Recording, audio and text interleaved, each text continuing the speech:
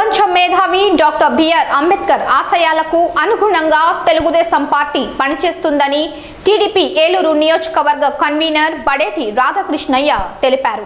Doctor BR Ambedkar అరవై ఐదవ వర్ధంతి సందర్భంగా స్థానిక వంగాయిగూడెం సెంటర్లోని అంబేద్కర్ విగ్రహానికి బడేటి చంటి పూలమాలలు వేసి ఘనంగా నివాళులు అర్పించారు. అనంతరం గౌరవ సభ కార్యక్రమంలో భాగంగా టీడీపీ నాయకులు కార్యకర్తలతో కలిసి సుబ్రహ్మణ్యం కాలనీలో ఇంటింటికి వెళ్ళి ప్రభుత్వ వ్యతిరేక విధానాలను వివరించారు. అలాగే ప్రజల సమస్యలను అడిగి తెలుసుకున్నారు. ఈ సందర్భంగా బడేటి చంటి మాట్లాడుతూ దేశంలో జీవించే వారందరూ సమానమేనని సమాజంలో రుగ్మతలను పారద్రోలి స్వేచ్ఛ స్వాతంత్రాలను కల్పించిన మహానుభావుడు డాక్టర్ బిఆర్ అంబేద్కర్ అని చెప్పారు.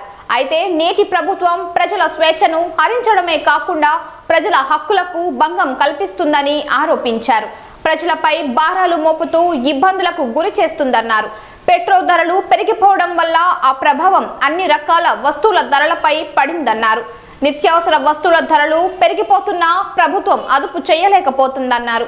చివరకు చెత్తపై కూడా పన్ను వేసే స్థాయికి దిగజారిందన్నారు. అంతేకాకుండా వన్ టైం సెటిల్మెంట్ పేరుతో జగన్ రెడ్డి ప్రభుత్వం భారీ దోపిడీకి పాల్పడుతుందని ఆరోపించారు. పంతొమ్మిది వందల ఎనభై మూడు నుంచి ప్రభుత్వాలు ఇచ్చిన ఇళ్ళకు పదివేల నుంచి నలభై వేల రూపాయల వరకు ప్రజల నుంచి ప్రభుత్వం అక్రమంగా వసూలు చేయడం దుర్మార్గమన్నారు. మహిళల మీద అభిమానం ఉంటే ఉచితంగానే రిజిస్ట్రేషన్ చేయించి ఇవ్వాలని డిమాండ్ చేశారు. ఇప్పటికే ప్రజలు తీవ్ర ఆర్థిక ఇబ్బందులు ఎదుర్కొంటున్నారని ఓటీఎస్ పేరుతో మరింత భారం మోపడం జగన్ రెడ్డి ప్రభుత్వానికి తగదన్నారు. రానున్న రోజుల్లో ఈ ప్రభుత్వానికి తగిన గుణపాఠం చెప్పాలని ప్రజలకు బడేటి చంటి పిలుపునిచ్చారు. ప్రజలకు అండగా ఉంటామని ప్రజా సమస్యల పరిష్కారానికి పోరాడతామన్నారు. రాష్ట్ర అభివృద్ధికి ప్రజా సంక్షేమానికి పాటుపడే ఏకైక పార్టీ తెలుగుదేశం పార్టీ అని చెప్పారు. ఈ కార్యక్రమంలో తెలుగుదేశం పార్టీ నాయకులు కార్యకర్తలు తదితరులు పాల్గొన్నారు. మీకు ఇబ్బంది వచ్చింది మా ఆఫీస్కి రండి మీ తరఫున మేము పోరాటం చేస్తాం. మీరు ఏమి కట్టనవసరం మీకు ఏమి రద్దు అవుతాం తెలిసిందా? మీరు నిర్భయంగా చెప్పండి మా దగ్గర డబ్బులు లేవు మేము కట్టలేము. ఇది కూడా మరి మాకు సహకరించాలి. ఏదన్నా జరుగుతుంది. మీ తరఫున మేము ఓట్ల కోసం రాలేదు ఇప్పుడు. మీరు పడే ఇబ్బందులకి అయితే వచ్చాం. మళ్ళీ మీరు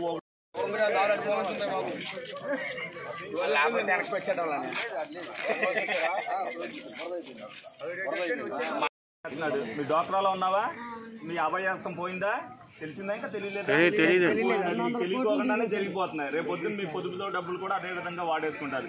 ఏదో మాయ మాటలు చెప్పారు. తప్పో ఒప్పో జరిగిపోయింది. ఇక నుంచైనా తెలుసుకోండి. కష్టాల్లో ఉన్నారని మీ తరపున ఇప్పుడు ఏం ఓట్ల ఎలక్షన్ కాదు ఇది. మీ తరపున పోరాటం చేయడానికి మేము వచ్చాం. మరి ఈ రోజున తెలుగుదేశం పార్టీ ఆధ్వర్యంలో పద్దెనిమిదో డివిజన్ వంకాయగూడెంలో మరి ఇంటింటికి తిరిగి ప్రజా సమస్యల మీద వాళ్ళని అడగటం కానీ వాళ్ళు పడుతున్న ఇబ్బందులు కానీ వాళ్ళకి తెలుగుదేశం పార్టీ ఏ విధంగా అండగా ఉంటుంది అనేది వాళ్ళందరికీ కూడా వివరించడం జరిగింది. మరి కొత్తగా గవర్నమెంట్ ఓటీఎస్ అనే ఒక పథకం తీసుకొచ్చి మరి ఆడపడుచులందరికీ కూడా ఏ విధంగా అప్పు చేసుకోవాలి అనేది ఓ పథకం చూపించడం మొదలుపెట్టారు.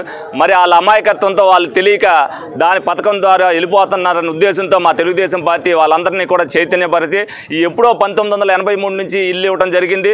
మీకు ఈ రోజున అవి రిజిస్ట్రేషన్ చేయాలంటే గవర్నమెంట్కి ప్రేమ ఉంటే వాళ్ళు ఉచితంగా చేసి మీకు అందించాలని చెప్పి మా తెలుగుదేశం పార్టీ తరఫున డిమాండ్ చేస్తామని చెప్పి వాళ్ళందరినీ కూడా కోరడం జరిగింది.